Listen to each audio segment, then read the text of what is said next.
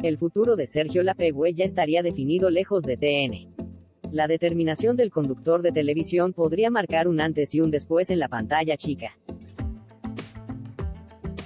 Hace unos días, la columnista de Radio Mitre, Marina Calabro, se refirió al futuro de Sergio Lapegüe dentro de Todo Noticias y en ese contexto, dio una importante primicia.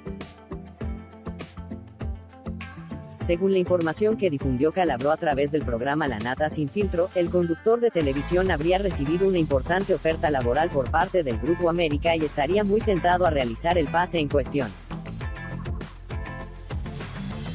Tal como lo explicó Marina, a Sergio Lapegüe le habrían armado un paquete en donde resalta la conducción de un late night show. Además, al periodista le habrían ofrecido otro formato en A24 y su propio espacio en la red. Como si lo antes mencionado fuera poco, América TV habría sumado una buena remuneración económica para que Sergio se motive con la propuesta.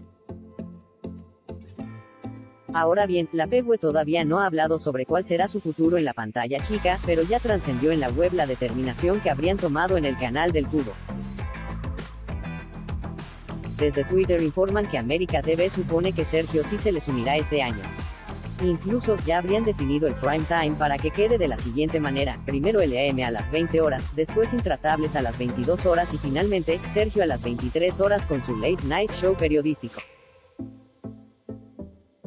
Cabe resaltar que ni la gerencia del Grupo América ni el propio Sergio han hablado al respecto, por lo que se desconoce si dicho cambio se llevará a cabo. Cuando Marina Calabro habló sobre Sergio Lapegüe en Radio Mitre, Diego Leuco y Luciana Geuna aún estaban al frente de Telenoche.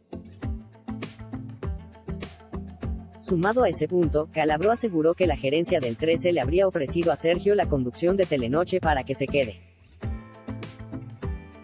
Sin embargo, como ya se sabe, la nueva dupla conductora del ya mencionado ciclo está conformada por Nelson Castro y Dominic Metzger, lo cual concluiría que el 13 ya habría perdido al presentador de Todo Noticias o en su defecto, estaría a un paso de perderlo.